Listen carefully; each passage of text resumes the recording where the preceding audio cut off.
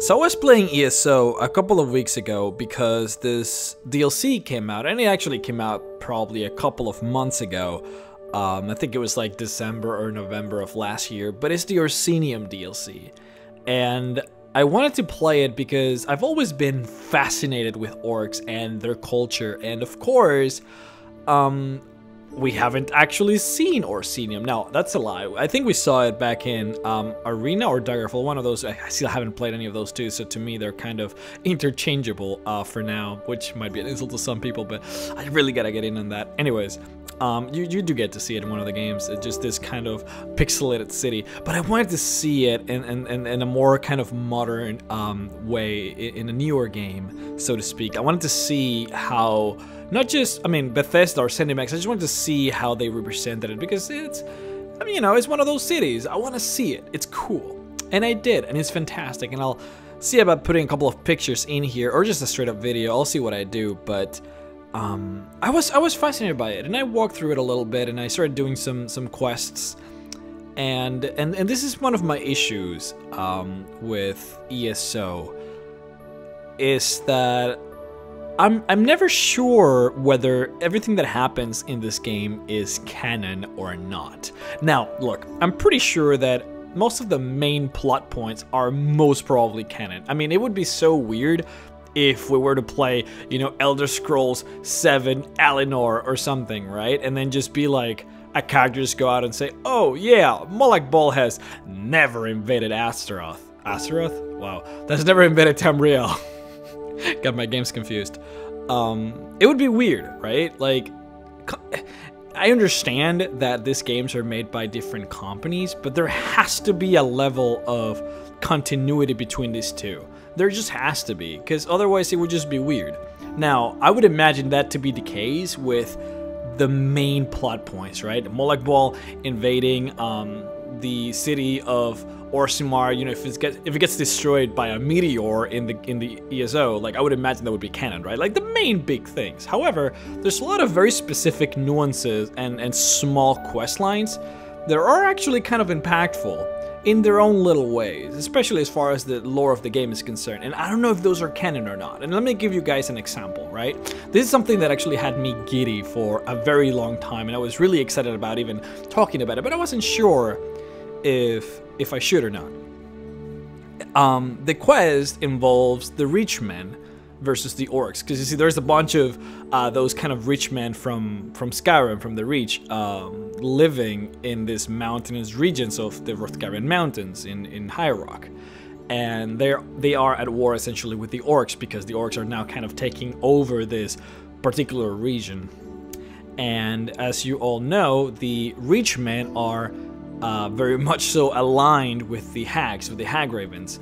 And uh, the hag ravens and their crazy witchery paganistic magic involves the Briarhearts.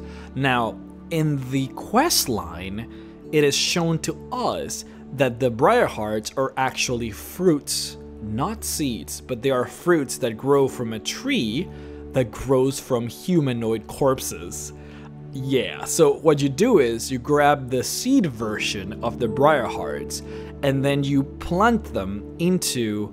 Uh, see, it, it is not told. I don't remember if it was told to us uh, whether or not it was. It had to be a human corpse or an orc corpse or an, an elf or anything. It's just it was just a humanoid corpse, right?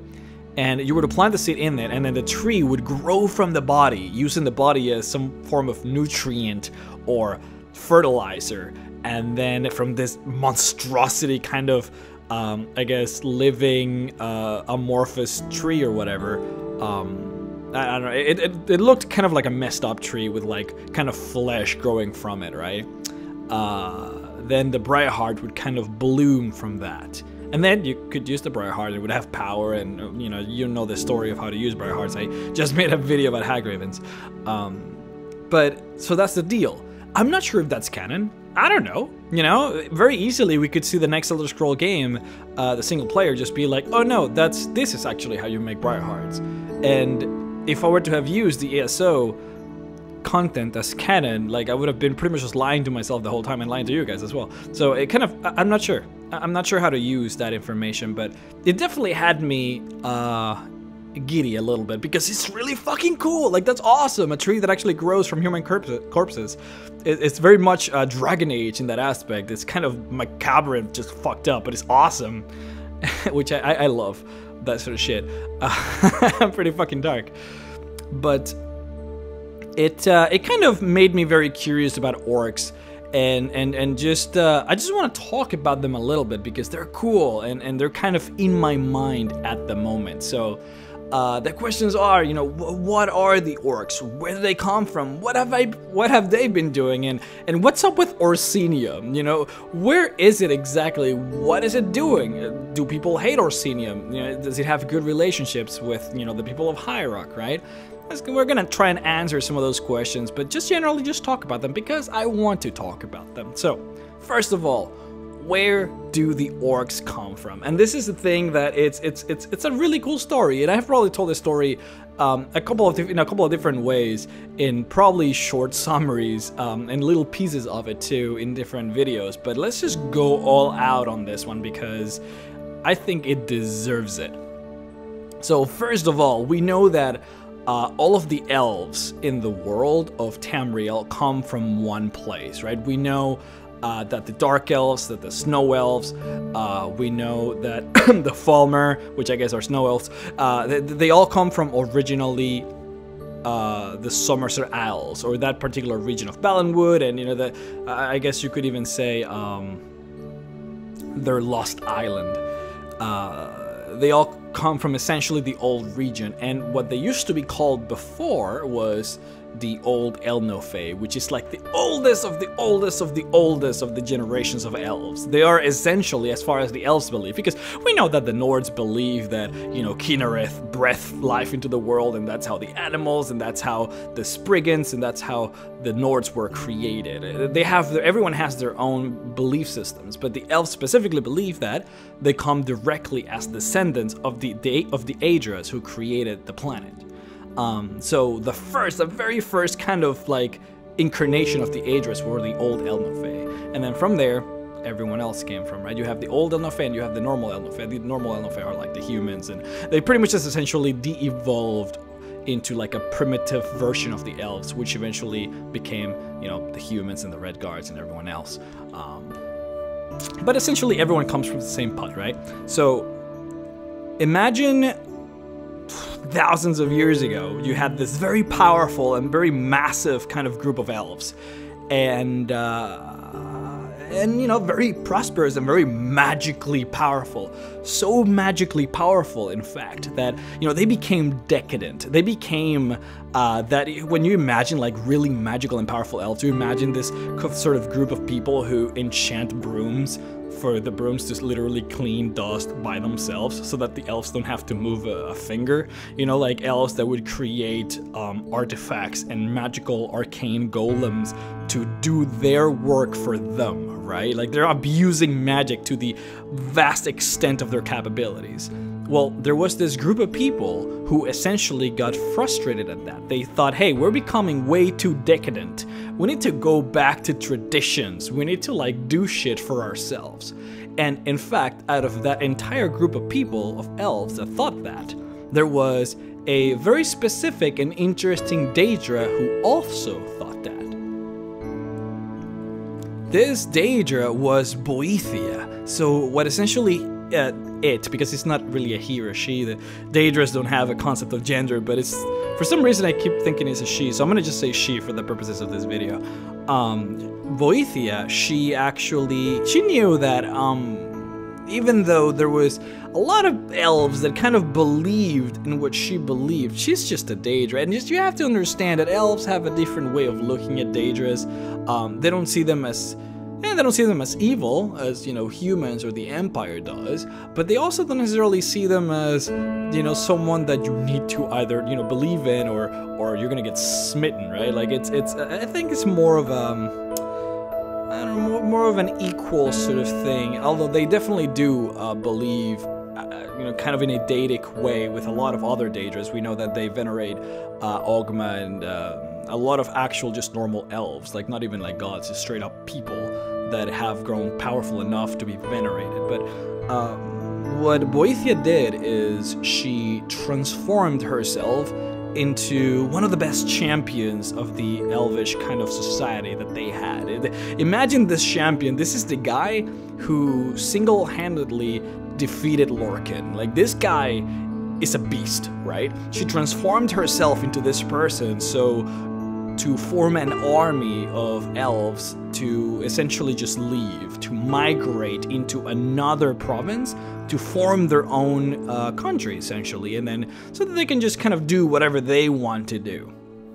And she did. She transformed herself into this champion and she formed this massive army and left. Now, thing is, the actual champion, the real one, not the impersonator, but the real one, realized that this was happening, so he himself formed his own army to battle the imposter. Now, this champion is Trinimac.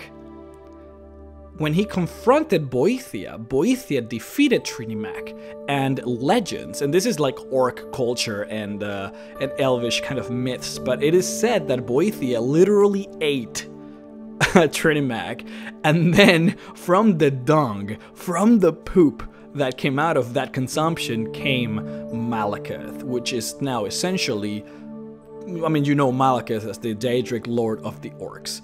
Um, but what ended up happening is that that consumption, that poop or whatever, I don't even know. See, that's what the book says. That's, that's what the stories say, that she literally just pooped him out. I don't know if that's true. I mean, it's, it's kind of silly, right? But that's just what it says. um, but this transformation literally deformed Trinimac and essentially made him into an orc, an orc god. And, and this transformation also happened to uh, his entire following, the, the, those that were fighting against Boethia. Now, there were a lot of the army there that kind of went with Boethia and remained loyal to her, even though they realized that she had essentially impersonated their biggest champion. Some of them, a lot of them, still maintained their ground and, and kept loyal to Boethia although some of them did not, and those that did not, and everyone else who followed Trinimac, got also transformed into the orcs. So that's essentially the, the kind of inception of this particular race. And I mean, we know that Boethia continued down her path into Morrowind, and she formed what is now Morrowind and the Dark Elves. Although back then they were still not the Dark Elves. That the transformation from those elves into their dark sort of version happened a lot later. But the orcs, I mean, they couldn't stay in Valenwood. They couldn't stay in Summerset Isles. Uh, they had been deformed. They, they, looked like shit. They looked like orcs. So they uh, they had to leave. And you know, we know that they kind of moved north into more of what is now High Rock in the Wrothgarian Mountains, and they just kind of settled there. But that, but that is essentially the story of where they come from. And this is this is very important because. Um, this is something that is going to most definitely happen the next time we deal with orcs. And I want you guys to know this history because the next time we, we meet with the orcs, if we ever go to Orsinium, or if you were to play ESO, um, and, and, and, and kind of check out the, the religious aspect of what's going on over there, it's pretty important because um, the orcs believe in Malacath. They believe that this actually happened, that Trinimac no longer exists, and now Malacath is the guy that you're supposed to venerate.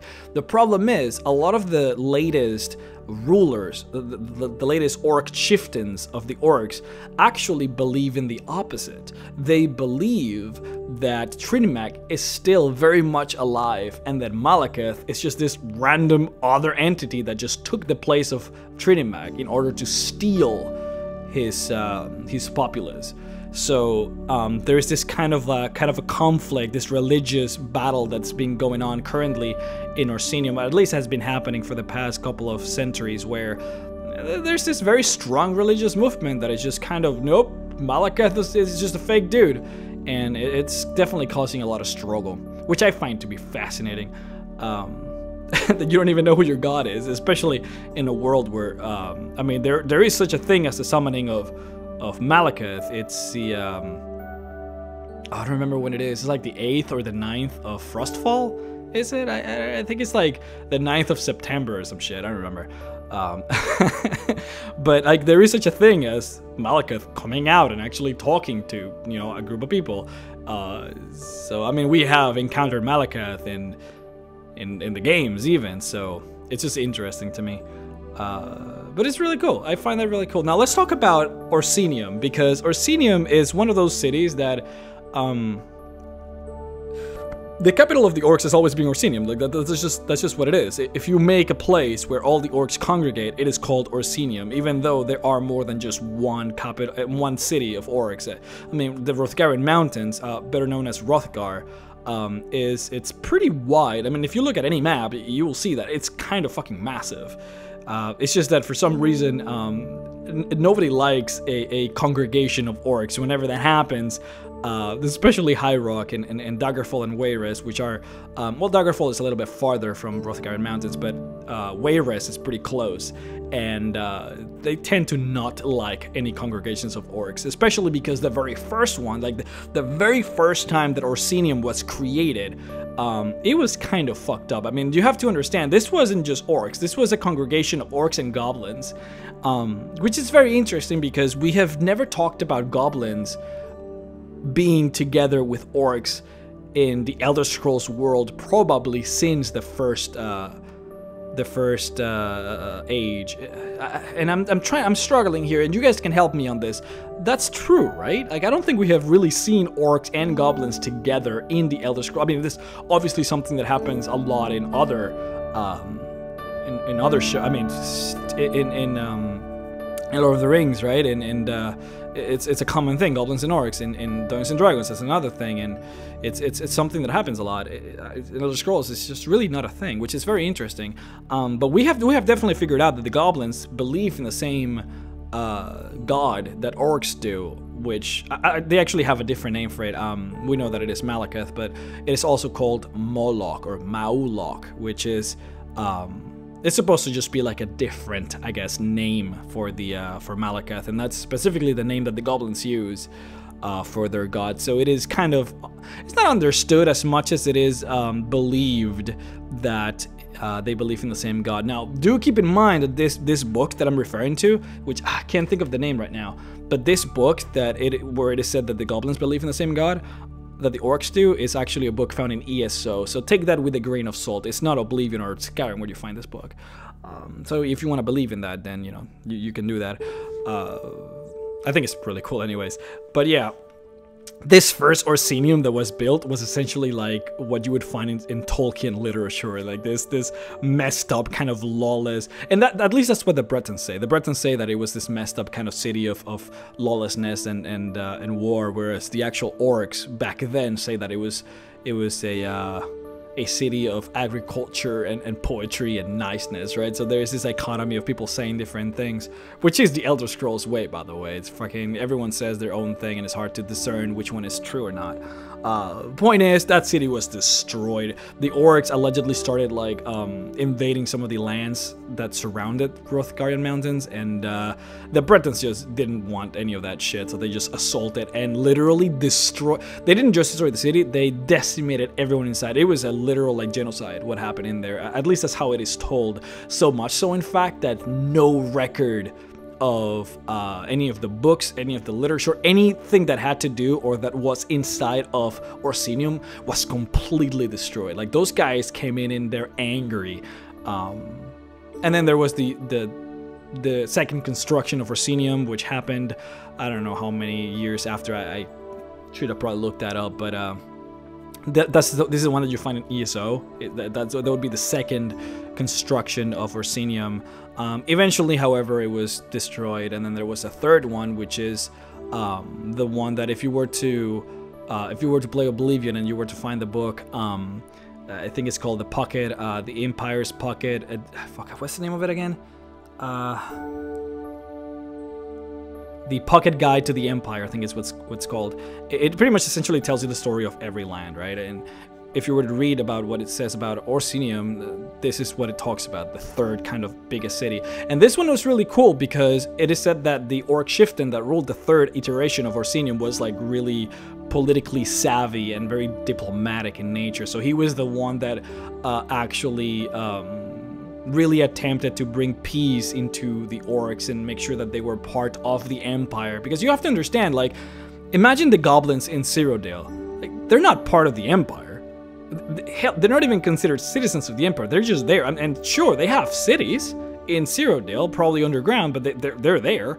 But they're not recognized by the Empire. So the, Emperor, the Emperor could easily just be like, hey, yeah, just kill them. And, I mean, no one would blink an eye because they're not actual citizens of the Empire. And that's what the Orc chieftain from the Third Orsinium essentially tried to do. Like, hey, we're here we want to, I don't you know, pay, we want to pay our taxes. We're going to fight your wars. We want to be legit. Just give us our province, give us our citizenship, and we want to be cool. And um, whether that happened or not, it's not actually told to us. We were told that the application uh, was sent, but it doesn't actually tell us whether it happened or not. So that's interesting.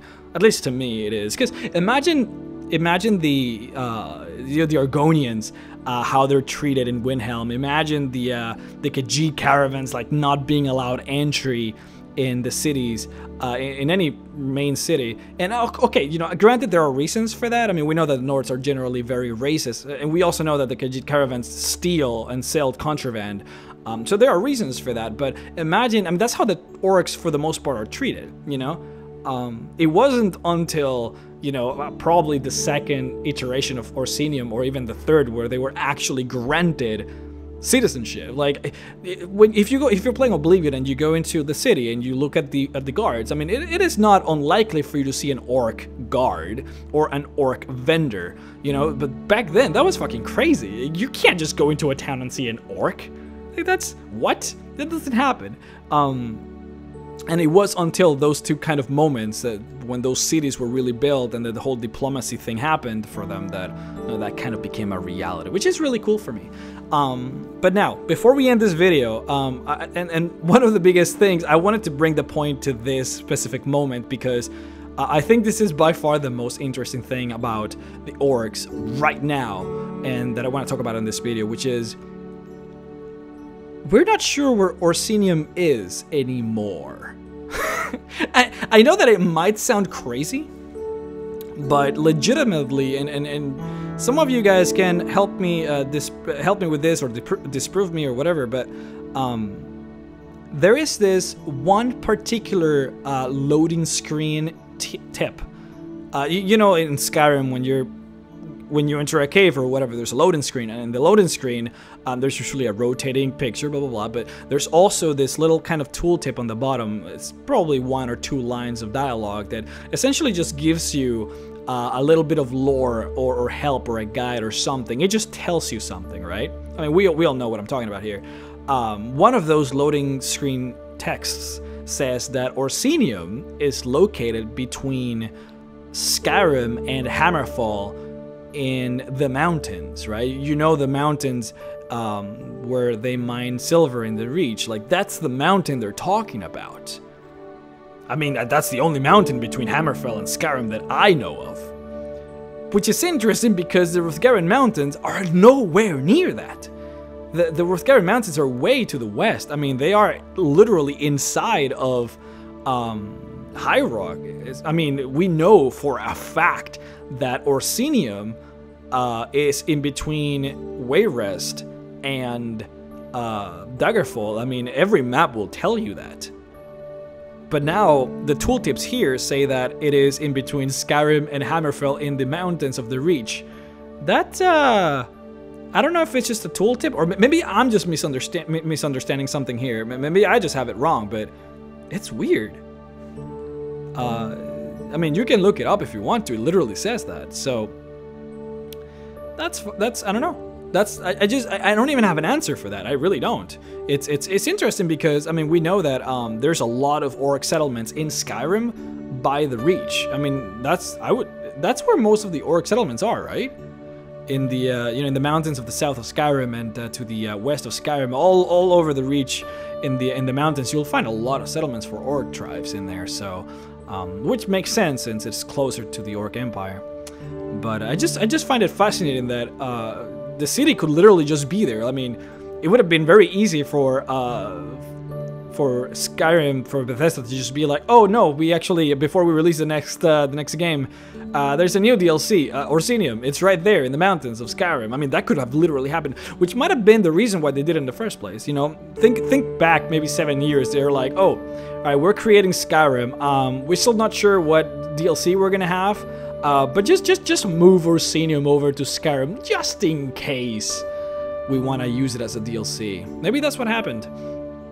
Um, we'll see if they take that back and if they keep Orsinium back in the Wrothgarian Mountains. But I just I just find that very interesting, and I hope that you do too. Hope you all enjoyed the video, even though, again, as most of my videos, uh, they are a little bit rambly, but I enjoy it that way. See you all next time.